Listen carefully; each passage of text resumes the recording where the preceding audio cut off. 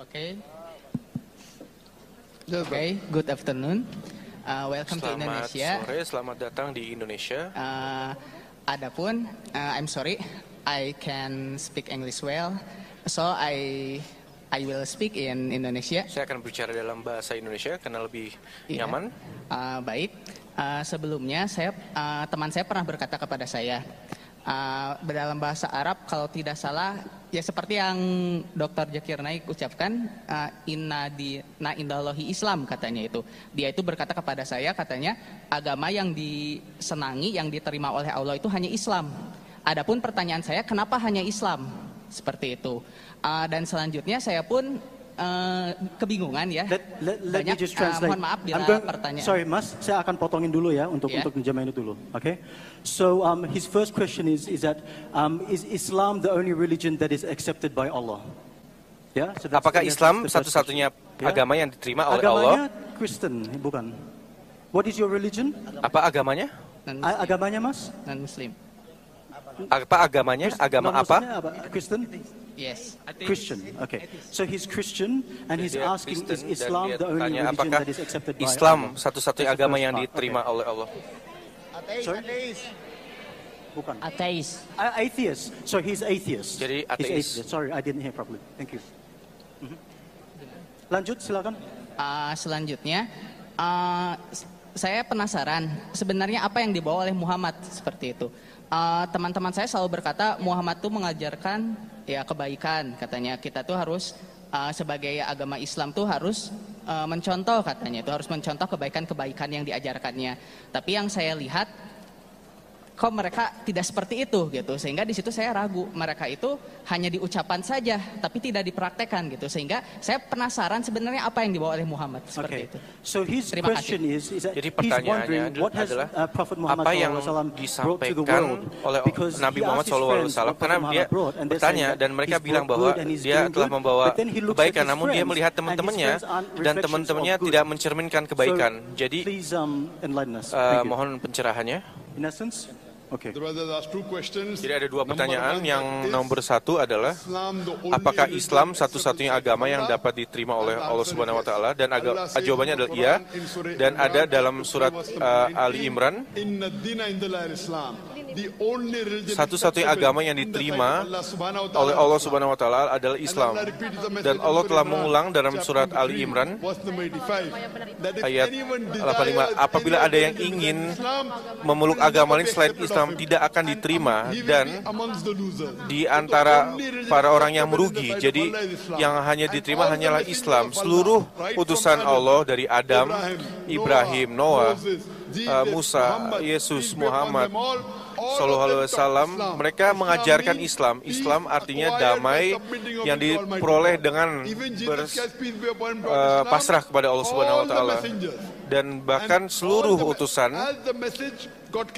dan pesan tersebut diubah, Allah mengirimkan utusan baru dan wahyu yang baru. Yang wahyu yang terakhir adalah Al-Quran dan yang terakhir adalah uh, Nabi Muhammad Shallallahu Alaihi Second Wasallam. question. About um, his friends are telling him that Dan Prophet Muhammad teman-teman delivered dia good to the world, bahwa, but when he looks at his uh, friends, they're not Nabi Muhammad of that good.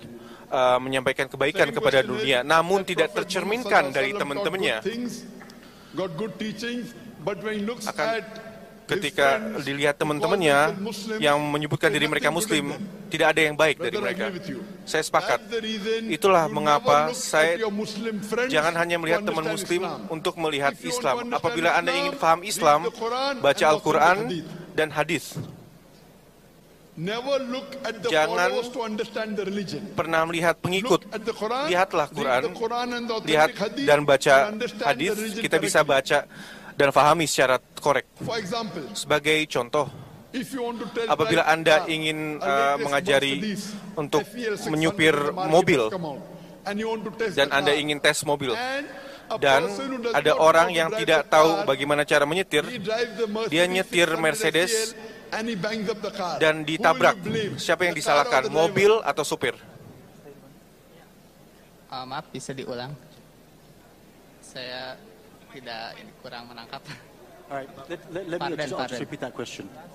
Will you blame A- a- Siapa yang disalahkan? Jadi, the apabila Anda ingin mengetahui the seberapa baiknya mobil, Mercedes 600 Mercedes SL, 600, and a person who does dan orang yang tidak the bisa nyetir, the kemudian dia menyetir dan the dia tabrak mobil, the akan the disalahkan mobil atau Kalau, supirnya. Kalau, kalau menyetir mobil, he's already got the.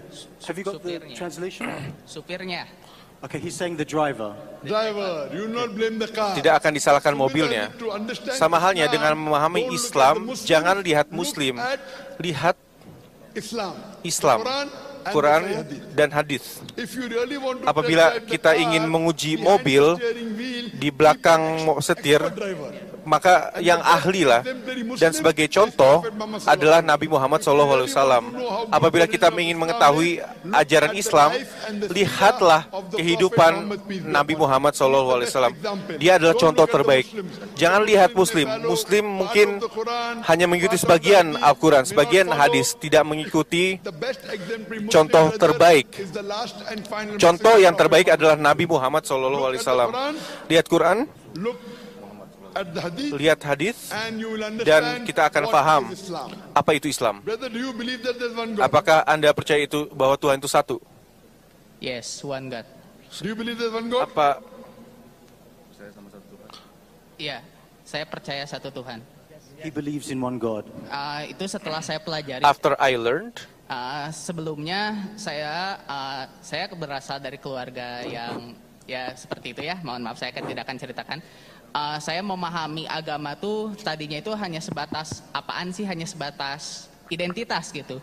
Namun ketika saya pelajari, saya banyak mempelajari banyak agama. Di situ saya ingin tahu yang benar. Yes or no, you're giving a speech. Yes, he believe in one Time God. is short. He believe Yes. in one God. Time is short. Do you believe in now- one God or not? Anda percaya satu Tuhan? Yes or no? Ya atau tidak? satu Tuhan? Yes. You believe? Yes. Anda percaya? believe that Prophet Muhammad Apakah Anda percaya bahwa Nabi Muhammad adalah utusan dari Allah? Percaya bahwa Nabi Muhammad adalah Utusan dari Allah. Nabi Muhammad adalah utusan dari Allah. Percaya atau tidak? he's got it. Ah, saya kira, saya kira saya harus mempelajarinya lagi. Gimana, Untuk bagaimana itu. mas? He needs some more time to learn about He it, needs, sir. he needs more time to think about the Jadi silakan baca Quran, Al-Quran, terjemahan, dan baca kehidupan Nabi Muhammad. Insya Allah Anda akan mendapatkan bimbingan. Okay, name and your profession. Next, Thank you next question. so much. He still needs time. He still needs time Any to think about. non-Muslim can come in front of the queue.